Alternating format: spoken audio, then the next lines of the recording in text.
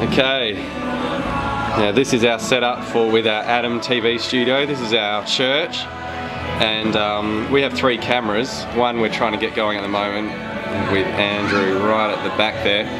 We've got another camera there, a Sony HVR Z1, uh, Z1 I think, and this is our sort of consumer camera, 1000 HVR 1000p. So we've got two cameras currently going through the system, 32 inch screen to play back on, and um, our, in the way we've got our uh, switching software on our old G5 Mac, um, our web streaming um, on our PC and our old PC and a Mac Mini to just power Pro Presenter which goes through channel 1. If you have a look here, I'll just clear so you can see and we've got channel 1 going through there. So, and I'll just put it on channel 3 which is the camera we're trying to get going. So our ATEM studio is just under here,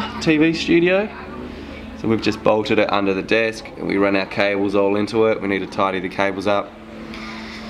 But then we run out from studio and we split our HDMI's into two. One goes to our VGA converters which go to our projectors for our live feed and the other HDMI goes to our converter here which then goes to an analog signal which goes into a capture card like a DVD capture card for this and that then streams flash media encoder streams through that so that's how we do our setup. Um, and we'll show some footage of an actual service